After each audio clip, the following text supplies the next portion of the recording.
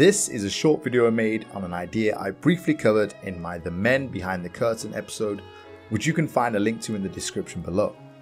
I'm working on a longer video series, so I thought I'd upload this as a kind of filler episode and also as an opportunity to unpack and explore an idea I think is intriguing but didn't really get to flesh out in the Men Behind the Curtain video.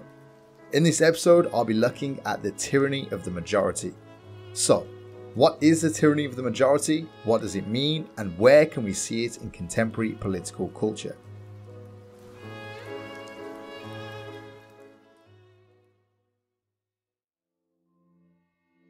The idea of the tyranny of the majority, sometimes referred to as the tyranny of the masses, or as the Greeks called it, aristocracy, which essentially means mob rule, is an idea that stretches as far back as the ancient Greeks all the way up to political thinkers such as John Stuart Mill and Alexis de Tocqueville. In short, the idea is that a situation can occur whereby a majority group places its own interests above the interests of a minority group, without consideration for the welfare or rights of the minority group. The idea of the tyranny of the majority is a problem inherent in democracy, whereby the majority chooses the outcome of policy and governance that affects all.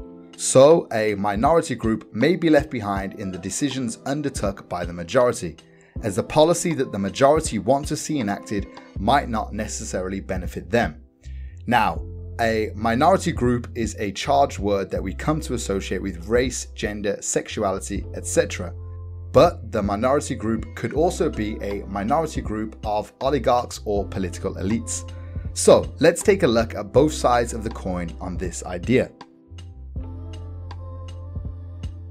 An example of this theory in history was the period of slavery in the pre-Civil War era of the United States. You see, during the time of slavery, all of the American electorate were white and free. So for them, keeping slavery legal was in their best interests. It wasn't in the interest of most of the electorate at the time to abolish slavery. So therefore, the voting majority used their power to keep slavery from being abolished and to keep slavery as part of the status quo. Only the minority wanted slavery abolished, and they were almost always ignored by the majority who wanted to uphold slavery as it served their best interests. But whilst the interests of a marginalized minority group should always be lauded, there is another side of the tyranny of the majority idea that disturbs the global order and Western hegemony to such a degree that the West has overruled democratic practices in order to maintain their hegemonic dominance. An example of this that happened more recently in history is the Algerian Western backed military coup, who overturned the election results in the 90s after the Islamists won, which also draws comparisons with the Muslim Brotherhood seizing power after the 2011 Arab Spring and the Iranian Revolution. All of these events happened after one power was ousted, and by utilizing democracy, the will of the people voted in reactionary religious fundamentalists, something which did not please the Western elites and would potentially disrupt the global order. To counter this, the West either backed coups, paramilitary groups, insurgencies, or, as in the case of the Iranian Revolution, deprived them the opportunity to participate on the world stage. These cases show, for better or for worse, that democracy is only upheld when it is a neoliberal government in power. Conversely, we also saw this instability and radicalism domestically in the case of Trump, who stoked up white nationalist rhetoric once more, and Brexit, which again fanned the flames of xenophobia and nationalism. But as these reactionary figures and movements maintained and furthered the neoliberal status quo, the radicality and instability of these movements were dismissed. Now, the elites don't like it when the results don't go their way, which is why the tyranny of the majority has been a thorn in the side of idealistic ideas on democracy for some time, as it can have troubling consequences for both minorities suffering under the rule of the majority, or it can unsettle the political and financial elites when the will of the people demands change that uproots economic and political foundations. Thinkers like Aristotle, John Stuart Mill, and Madison fear the tyranny of the majority for similar reasons. In their view, the poor majority could be swayed to vote for confiscatory legislation that seizes the wealth off of the rich minority at the upper echelons of society, therefore creating an egalitarian proto-communist society. These thinkers thought the best way to counter the tyranny of the majority was to only grant democratic practices to the rich and well-educated members of society, which I guess kind of undermines the whole idea of democracy in the first place. But as the cases in the Middle East show, this idea is probably closer to the conception of contemporary democratic practices, but in the inverse. I.e., everyone is allowed a vote and the vote will be accepted only if the well educated and rich members of society are kept in power. Right, returning back to the Men Behind the Curtain video, I talked about Tocqueville's perspective of the tyranny of the majority, so I'll dive into that a little more.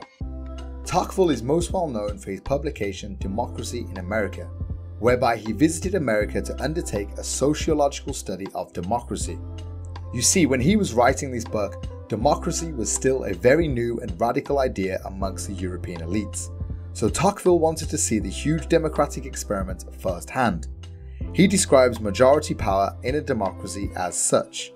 The moral dominion of the majority is based in part on the idea that there is more enlightenment and wisdom in many men combined than in one man alone, more in the number than in the choice of legislators. Consequently, the minority admits it with difficulty and gets used to it only with time. Like all powers, and perhaps more than any other, the power of the majority thus needs to last in order to seem legitimate. When it is beginning to be established, it makes itself obeyed by force, only after living under its laws for a long time do you begin to respect it. Furthermore, Tocqueville fears the tenacious and unrelenting force of majority rule. He later writes, in the United States, the majority has an immense power, in fact, and a power of opinion almost as great. And once the majority is formed on a question, there is, so to speak, no obstacle that can, I will not say stop, but even slow its course and leave time for the majority to hear the cries of those whom it crushes as it goes. We must remember that Tocqueville was writing this as a Frenchman visiting the new land. Democracy in France was still fraught, unpolished, and being refined. America in its conception was a young, new constitutional democracy, something that had never been tried before on the scale of America. The tentative feelings of uneasiness and hope were really swirling around his head.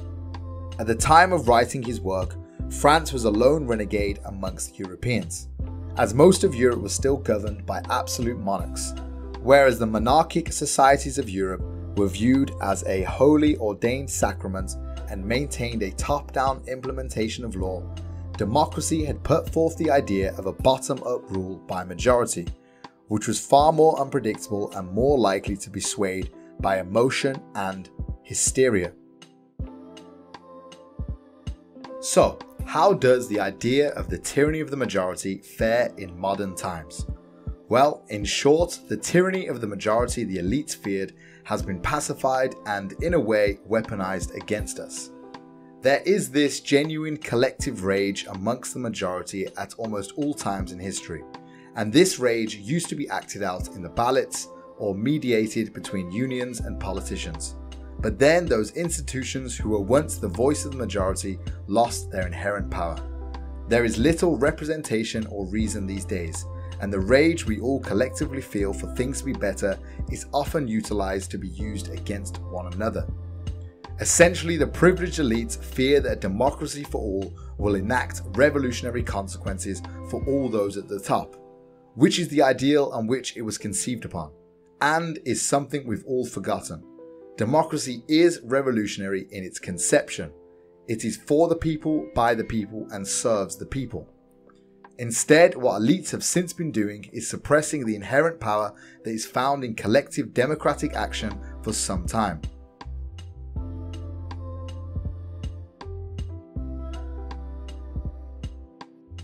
Nowadays, we can see that the tyranny of the majority has taken a different form. With misinformation and the dissemination of propaganda, the tyranny is now the mobilization of the majority through visceral rage, racism, emotion, conspiracy, and suspicion. The collective has now been divided and atomized, so that the tyranny of the majority is now the sway of public opinion and emotion that is played daily through 24 hours news cycles, doom scrolling, social media, and advertisements. The elites have pacified the tyranny of the majority to best serve their interests and to disregard ours. They no longer fear us turning on the rich minority, because instead we are turning on each other. The tyranny of the majority has been subverted to exercise another old as time power play divide and conquer. We are now voting against our interests. Instead of our rage being directed at the financial elite, it is directed at one another. The tyranny of the majority in principle has been used against us to dismember the majority, atomize the populace, and allow the upper echelons of society to continue business as usual. What Tocqueville predicted, that rule by majority can be swayed by emotion and hysteria, has come true, but not how he probably imagined. The emotion and hysteria is purposefully whipped up by the elites as an apparatus of power and is often used against us to rile us up about trivial things rather than the things that matter. Tyranny of the majority was once something the elites feared would come for them, but it didn't. Yes, the majority rule of people still often vote against the minority. We still have populist, anti immigrant parties and far right rallies. But the elites have turned our collective gaze to the wrong minorities. It isn't the immigrant down the street that has deprived you of opportunity and social mobility. It is instead the minority at the top of society, the 1% that have stripped our countries, our futures, and our security bare. And as long as our collective gaze is always looking at the other and not the elites, they will continue to rule. They will continue to manipulate the collective emotion and hysteria, and they will continue to win. The tyranny of the majority is now weaponized anger toward our kin and not to those elites that rule. Thank you for watching. Look out for some more videos coming up very soon. Please check out my podcast over on Spotify, Apple Podcasts, Google, and wherever you listen to your podcasts. If you like what I'm doing, please consider supporting me on my Patreon at patreon.com slash haikoup. And if not, follow my Twitter at hai underscore koup. For further reading and show notes, check out my website below. This has been Haikoup. See you all soon.